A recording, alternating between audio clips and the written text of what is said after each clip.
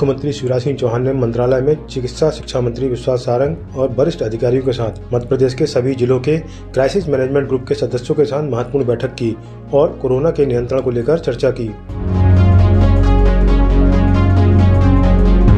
मुख्यमंत्री श्री चौहान ने कहा कि प्रदेश में फैलते कोविड 19 संक्रमण को देखते हुए तीन दिन में तीन गुना अधिक ऑक्सीजन की आपूर्ति सुनिश्चित की गई है। तीन दिन पहले जहाँ 60 मीट्रिक टन ऑक्सीजन प्राप्त हो रही थी, वहीं आज 180 मीट्रिक टन ऑक्सीजन की आपूर्ति हुई है।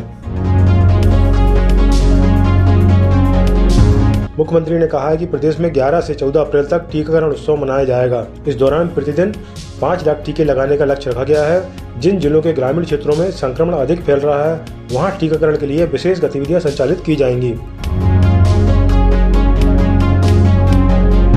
कोरोना संक्रमण से हुई मृत्यु को लेकर कांग्रेस ने भाजपा सरकार पर गंभीर आरोप लगाए हैं। कांग्रेस का कहना है कि भोपाल में पिछले 24 घंटों में उनचास लोगों की कोरोना से मौत हुई है।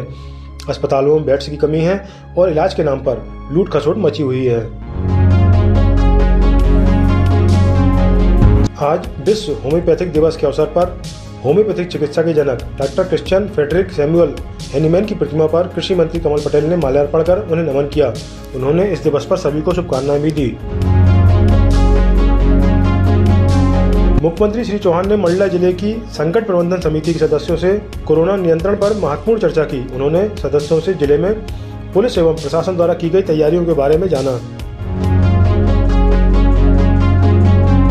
शहरी क्षेत्र में जारी 60 घंटों के लॉकडाउन पर शहर में सन्नाटा पसरा रहा। पूरी तरह से नगर एवं नगर के आसपास के क्षेत्रों की सभी दुकानें पूर्ण रूप से बंद रहीं। इक्का दुक्का लोग ही सड़क पर नज़र आए। कोरोना संक्रमण को रोकने के लिए नगर पालिका क्षेत्र में लगातार प्रयास किए जा रहे हैं। लॉकडाउन के चलते बाज़ार बंद हैं, ऐसे में नगर पालिका प्रशासन द्वारा बाज़ार को सैनिटाइज किया गया।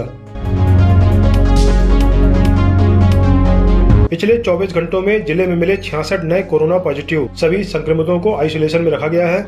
इसी दौरान उपचार के बाद पुराने 10 कोरोना संक्रमित स्वस्थ होकर घर भी लौटे।